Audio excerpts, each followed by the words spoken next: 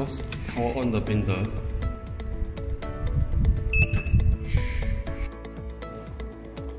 Run the EMLabel.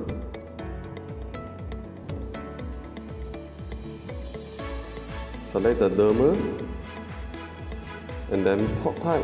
You choose the ENT net. Confirm. Confirm. On the desktop, select the SAT setting. Click the scan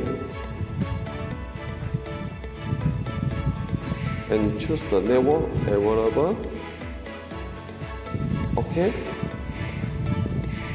For the password, key in your Wi-Fi password.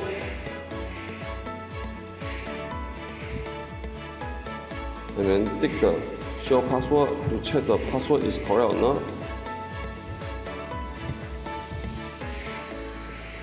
And then save.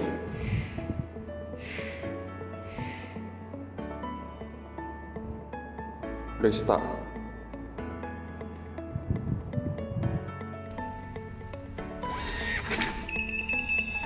Okay, you can see the printer will print out this view the one finger so it link to the network is successful and then the IP address is correct.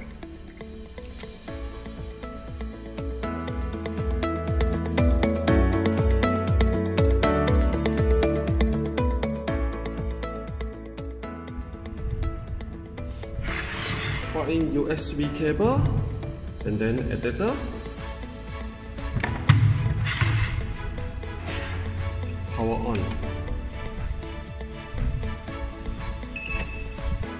run the printer test v5.0c select the USB port the printer type is a pop edit. After click the advanced. Select the setnet to key in the new IP address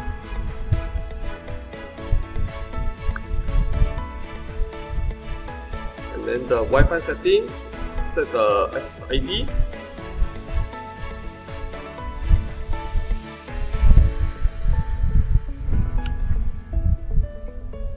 the Wi-Fi password.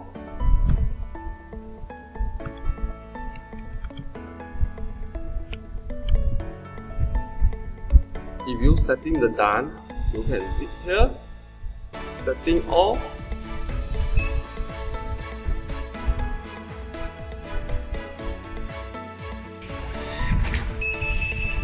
okay. If the Wi-Fi printer is setting is success it will print out a the paper like this. You can see the SSID and then the current IP